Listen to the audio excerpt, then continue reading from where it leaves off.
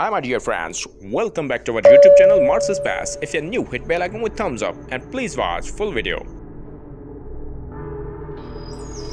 Perseverance stopped to get this rocky outcropping. NASA's Mars Perseverance rover acquired this image using its left Mastcam Z camera. Mastcam Z is a pair of cameras located high up on the rover's mud. Photos captured on 21st March 2022, Sol 385. It will take multiple images that scientists back home can put together into larger mosaics to look at rocky structures exposed on the Gatorback Ridge to understand the erosion happening here.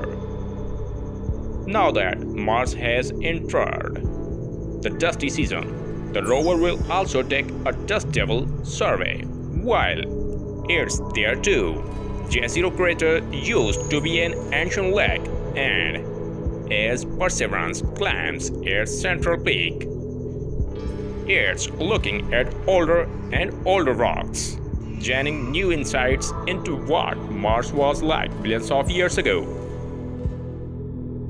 Like the video, share the video to your friends. Thanks for watching.